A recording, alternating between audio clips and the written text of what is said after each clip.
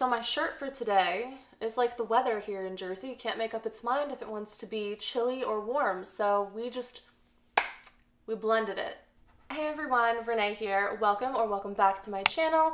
Today I am super excited for this video even though my wallet is extremely disappointed in me, but it's okay because I am here with another book haul. So I did a book haul fairly recently, I feel like. I feel like it is was just over a month ago I did a book haul, but we're back.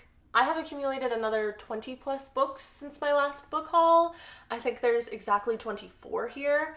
Um, and if you didn't catch my last book haul, I will leave that link down below as well so you can check that out for the first half because I am now starting to build my own personal library at home. So these two shelves are pretty much the only two shelves that I have. They are small. They look a little bare right now because a lot of the books um, are currently on the floor to be shown to you. So this is going to be part two of my library series. Uh, maybe it won't be a series, maybe it will.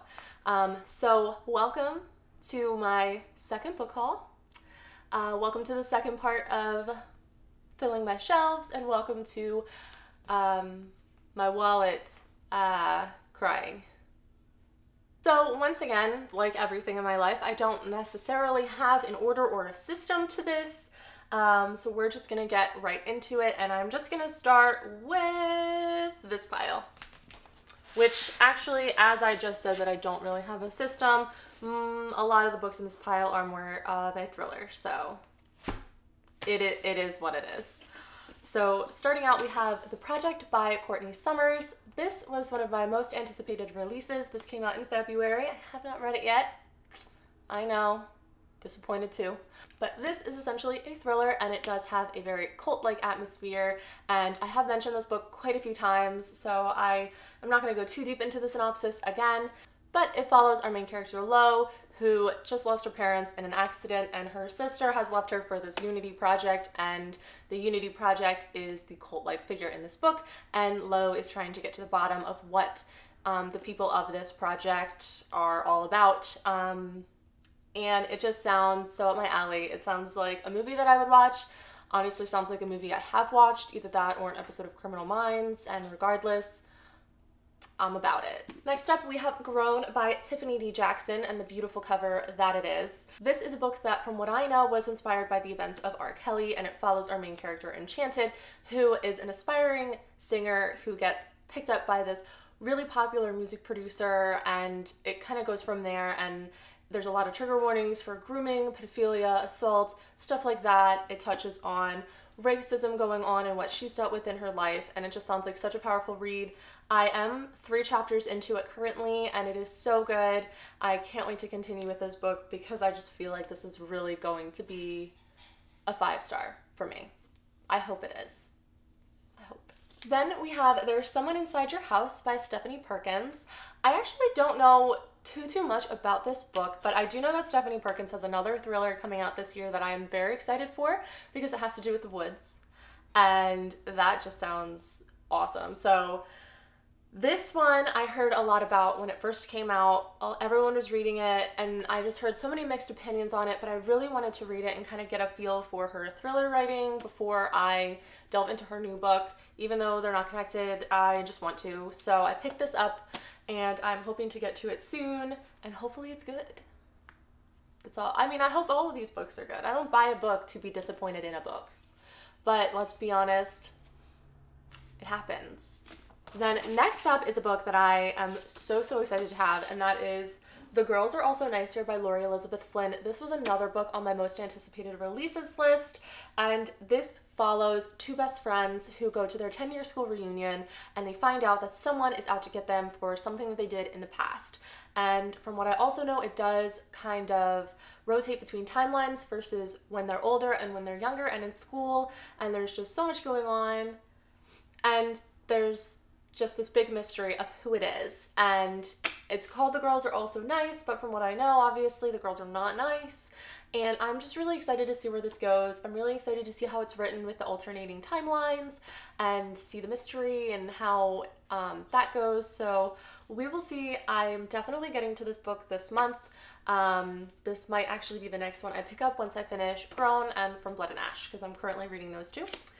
Uh, so I'm anticipating this one very soon.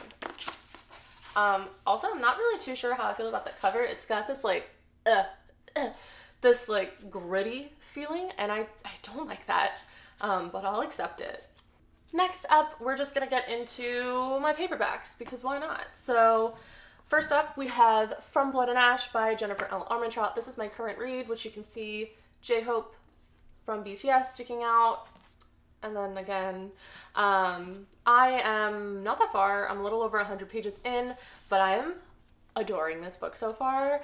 This book everyone talks about, everybody raves about, and I was so late to the party, but now that I'm here, I'm really happy to be here because this is just so good so far. I really hope it continues on this. Like every single chapter ends leaving you wanting more and that's kind of bad because the chapters are kind of long in my opinion i'm not the biggest fan of long chapters especially when i'm trying to go to bed I, i'm always like well let me just get a chapter in before bed but their chapters are so long and then they hit you with something and you're like, well, I can't go to bed yet. So then it's been keeping me up a little bit longer than I'd like, but in the best way. So I'm super excited to continue with this and hopefully add more of the series to my shelves because I know the third one is coming out soon. And you better believe I'm gonna get the second one as soon as I finish this one. Sorry, wallet. Then we have Credence by Penelope Douglas. This is a romance book and this is a, from what I know, a spicy one like spicy, so people say. Um, I don't even really know too much about it other than the fact that our main character goes to live with her um, stepfather's uncle, cousin, brother. No, her uncle. goes to live with her step. goes to live with her stepfather's brother and his two sons.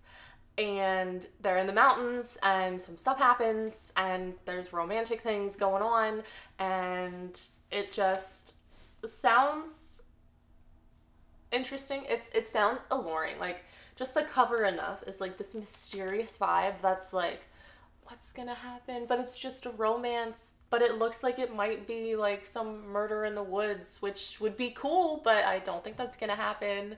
Um, so yeah, it just says one of them has her, the other one wants her, but he, he is going to keep her. And that just seems really intriguing enough. So we'll see. I don't know when I'm to get to this one. I told myself I was to do it in March. Will I actually listen to my TBR? To be decided. Next up, we have The Risk by Elle Kennedy. This is the second book in the Briar U series. I just started this series um, because I always hear about Elle Kennedy, specifically the off-campus series, but I decided to kind of stray from that and do Briar U. Um, and I'm super excited to read this. I also have um, the Chase by Elle Kennedy, which is the first book in the Briar U series, and I did read this one, and it was okay. It wasn't bad, it wasn't amazing, it was okay. But this one was actually the whole reason why I got the series is because I liked how this one sounded. So I'm hoping that this one delivers a little bit more than this one or a lot more than this one. Um, but honestly, it, it sounds kind of corny, but it's your typical like bad girl romance book but I don't know. There's just something alluring about it. It's Elle Kennedy. Why not? You know, why not just why not? And then if I like the risk, maybe I'll get the other two because this is a series of four. So we'll see. Next up, we have Verity by Colleen Hoover. This is another book that I have recently read and I did really like it. It is very interesting. This is a romance thriller about um, a struggling writer who gets hired by this really popular writer's husband to finish the series that his wife started because she gets really ill and the things that she discovers while living in their house and trying to finish her work is um is kind of odd and kind of disturbing to our main character and it just starts this whole mystery of like what's going on what's wrong with her you know and it was very interesting i i thought the ending was a little lackluster but other than that, it was very good. It was pretty spicy. Um, but overall, I thought that the plot was enough to kind of carry it for me, and I was intrigued by it. This was my first Colleen Hoover book, and I am definitely excited to continue reading Miss Hoover's works, which is why I also picked up Ugly Love by Colleen Hoover. This will be my second one. Um, I'm not quite sure why I gravitated towards this one versus some of her other books because, as I've said before, when it comes to Colleen Hoover, I feel like there's not one of her books that I hear about more so than the other. I feel like it's just, they're all talked about. So I kind of picked this one up. This one seems a more, um, more like maybe damaged goods if I can explain that. And I kind of like that. It's like not quite toxic, but not sweet. But who knows, this might be toxic. I don't know. It just says hearts get infiltrated, promises get broken, rules get shattered, love gets ugly. And then the top of the synopsis says it's not exactly love at first sight for Tate Collins when she meets the tormented and secretive Miles Archer. Damaged goods. We'd love to see it. They wouldn't even go as far as to consider themselves friends. The only thing Tate and Miles have in common is a mutual physical attraction that can't be denied. Once their desires are out in the open, they realize they might have stumbled on the perfect no strings arrangement. He isn't looking for love, and she doesn't have time for it. So, the rest is up to imagination. Then, my last paperback is my most disappointing paperback, and that is because it is Opposition by Jennifer L. Armentrout. Now, this was an accident. An accident because I was uneducated. And this was no one's fault but my own. So I started reading from Blood and Ash. I'm loving it. I decided I want to read more books by Jennifer L. Armentrout, so I was at my favorite, Second and Charles, just browsing through the tall shelves of books, and I saw this one. And the only thing I saw was Lux and I was like, "Oh, this is that this is that series that everyone loves." Like, I want to I want to know. I want to pick it up. I want to read it. So, um it was like $4 from Second and Charles. So I was, didn't even think about it when I picked it up. And then I got home and I saw that it said opposition under it. And that's when it clicked in my head that Lux was the name of the series. And I don't know why, for some reason, I genuinely thought Lux was the name of the first book. So imagine how dumb I felt when I realized that this is actually the fifth book. I randomly picked up a fifth a fifth book in a series that I've never even started and I ah I don't know. Renee, you know, I'm disappointed in myself but also not surprised because that's very on brand for me.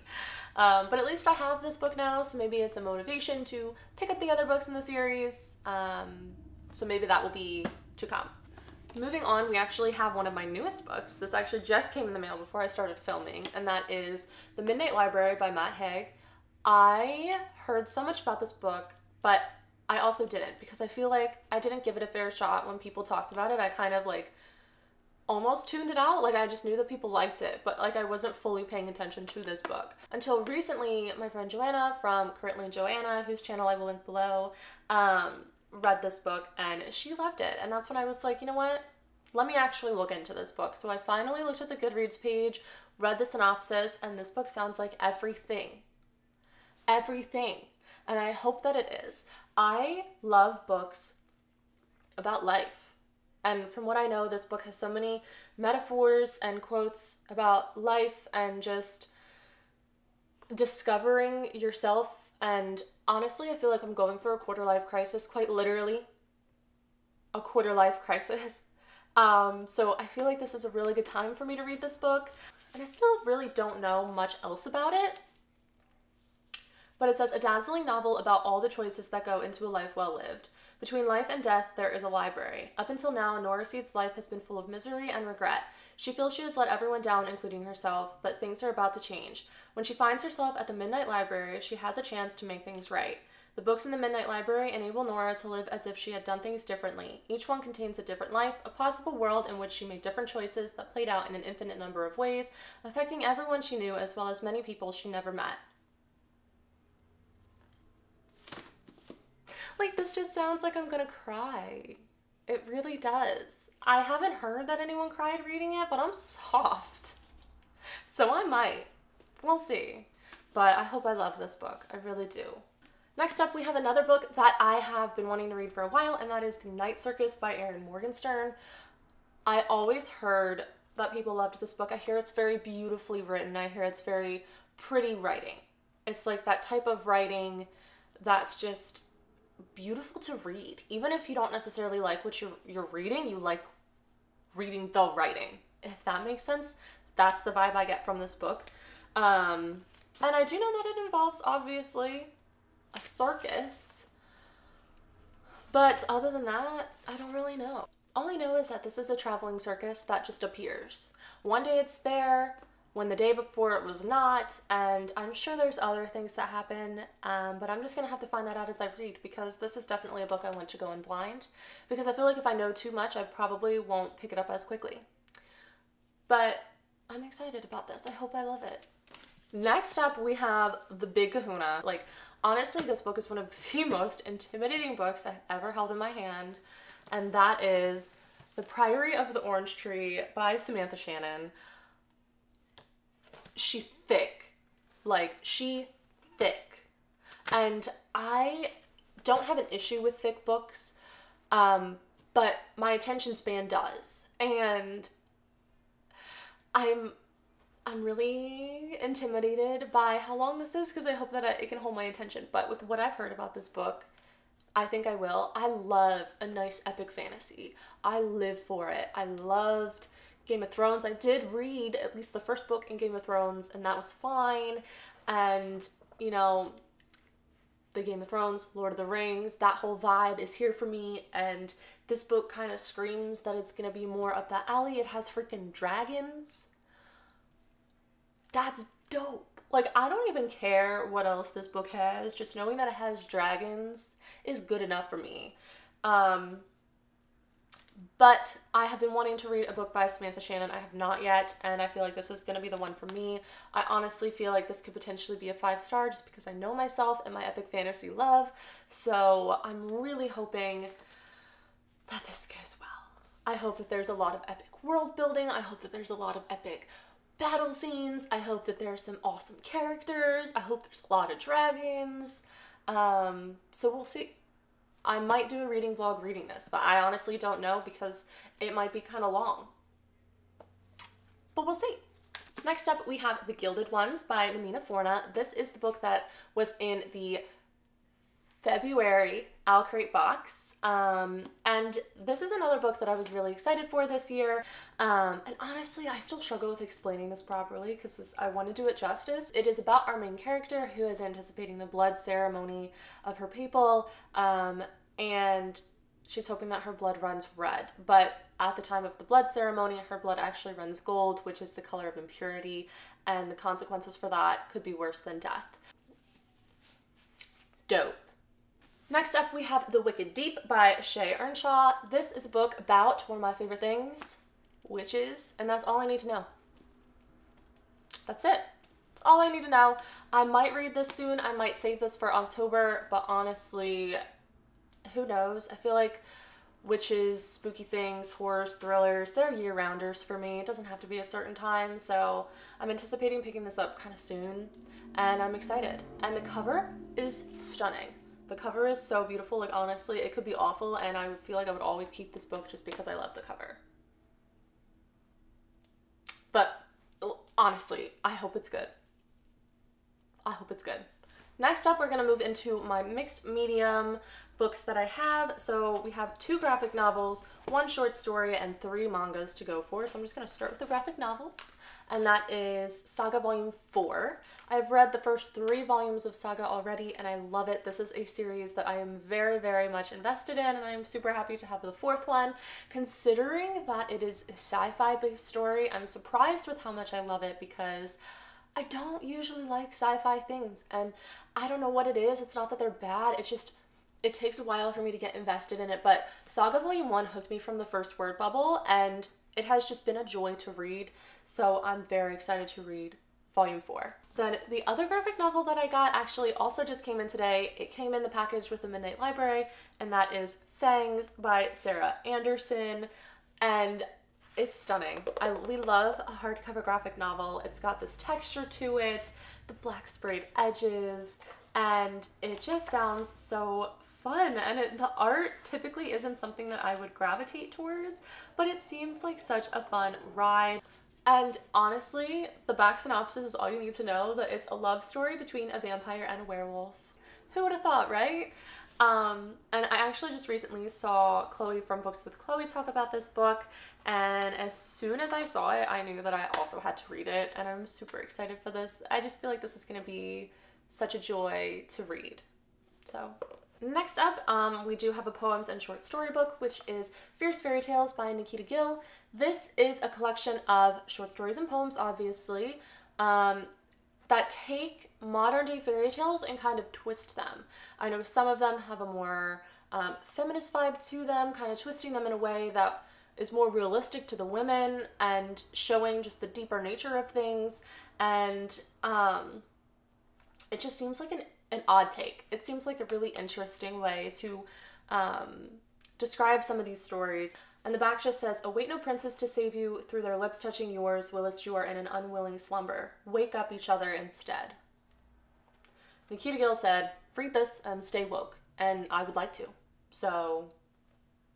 Then for my manga, I actually haven't gotten that many manga since the last time I updated you. I don't believe but we do have volumes two and three of Waiting for Spring.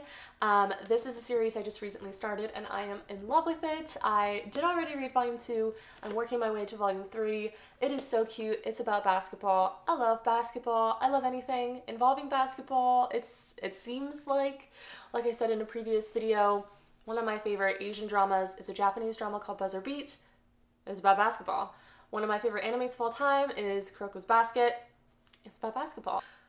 And then here we have this manga waiting for spring and it is so so cute. And then the last book that I have to talk to you about is one more manga. It is a manga I just got. I had never heard of it before I saw it on the shelf, but as soon as I saw it I knew that it was probably going to be for me. And that is volume 1 of The Witch and the Beast.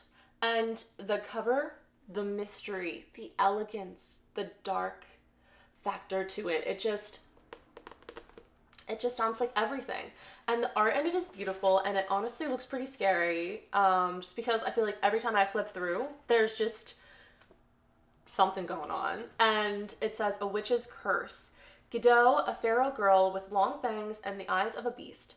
A, shof- a soft-spoken man with delicate features and a coffin strapped to his back.